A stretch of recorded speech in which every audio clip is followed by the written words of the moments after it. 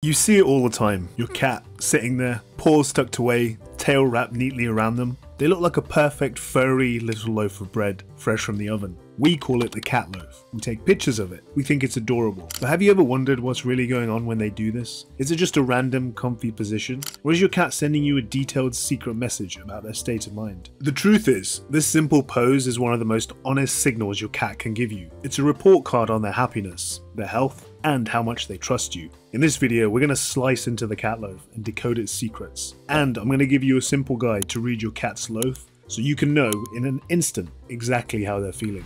To understand the loaf, we need to think like a cat. And for a cat, life is a constant balance between comfort and readiness. This is where the loaf becomes so fascinating. There are two main scientific reasons your cat assumes this position. First, simple physics, thermoregulation. Cats have a higher body temperature than we do, and they love to be warm. When they tuck their paws and tail underneath their body, they are minimizing the surface area exposed to the cool air. Their paws in particular can lose a lot of heat, so by tucking them in, your cat is basically turning into a self-contained, energy-efficient little furnace. It's all about conserving that precious body heat and staying cozy. But the second reason is much deeper, and it's all about psychology the signal of safety. Think about a cat's primary defense tools, their claws. Where are their claws? In their paws. For a cat to be able to run, jump, or defend itself, its paws need to be free and ready. When a cat tucks its paws completely under its body, it's making a deliberate choice. It's saying, I do not need to be ready for immediate action. They can't spring up in an instant. They are making themselves vulnerable. And this is where it connects directly to you and your bond.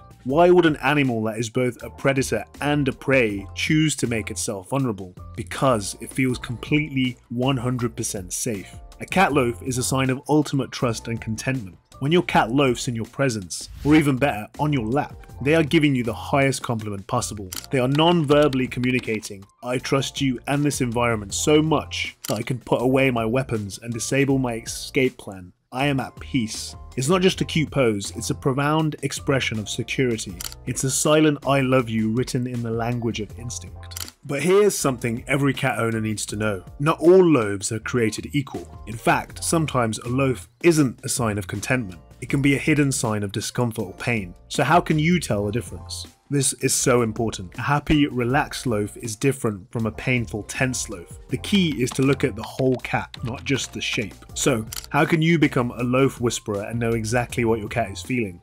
Here are three things you can look out for to read your cat's loaf like an expert. First is the loaf language. A happy loaf is a relaxed loaf.